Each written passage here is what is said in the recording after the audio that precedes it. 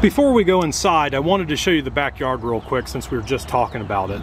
Check this out, no rear neighbors. There's nothing but wilderness and trees and vegetation behind this home. Very private back here. We have a large concrete patio. There's a section over here, be a perfect spot for a hot tub.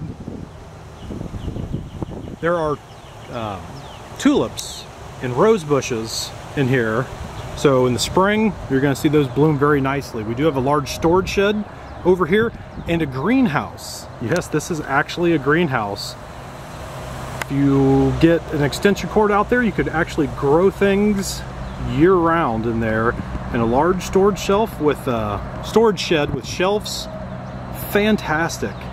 Burn pit here, this is brand new. Great backyard.